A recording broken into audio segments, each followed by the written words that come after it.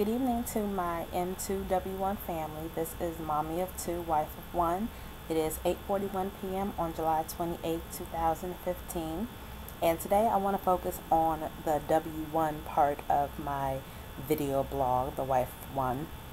My mom told me a long time ago, before I ever got married, that when you marry a man, you don't just marry him, you marry your family.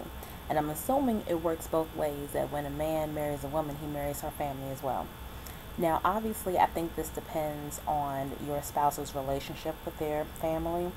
For me, his family didn't have a lot to do with me choosing to marry my husband. His background is extremely different from mine. It's not necessarily good or bad, it's just very different. And a lot of the things I had to adjust to were pertaining to the way he communicates with his family and kind of the things that they say and the things that they do. And I learned a long time ago, because he and I have been together for over a decade, I learned a long time ago not to take a lot of the things they say at face value. I learned that a lot of the things they say to me is not necessarily to get a rise out of me. They're not trying to upset me per se, but I think they were kind of testing me to see how I would react to their brashness and to them being so open and honest. And I also learned a long time ago that sometimes the things they said to me was less about me and more about where they are in their lives and things that they're dealing with.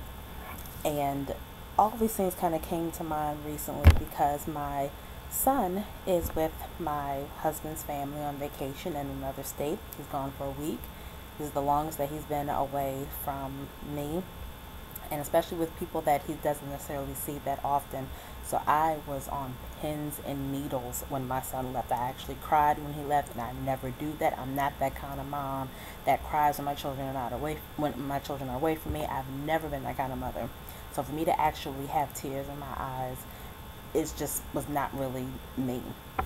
And I know that is because I was nervous for him and just really anxious for him and hoping that he would have fun and hoping that he was safe and hoping obviously that he would get back okay and just hoping that he would have fun with his family. Because he's not around them that often they probably aren't used to how he is. He's not used to how they are.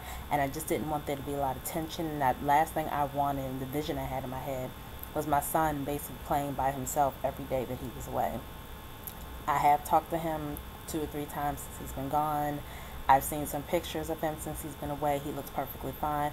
But you know, as moms, we worry about these things.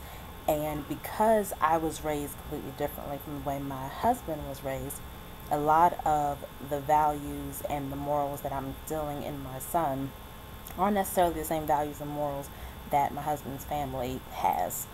And my biggest fear, because I overthink everything, was that all of the things that I poured into my son within a week, it was going to be gone or it was going to be questioned or I'd have to kind of reprogram him when he came back. And I realize now that a lot of the things that I see as deprogramming or as I see as being harmful to him emotionally, he's not going to take it that way. My son is six, so he's not going to internalize something in a week that is going to take away all the things that I've poured into him over the past six years. So I realized that I was being silly, and I've been deep in prayer about it. But in terms of marrying your husband's family or marrying your wife's family, I think there is something to that. Again, depending on the relationship that your spouse has with their family, I think it's all about understanding your place with your spouse and making sure that your spouse knows that when they marry you, you become their priority. So, my husband, you know, he's close with his parents, close with his siblings. I'm close with my parents and close with other people in my family.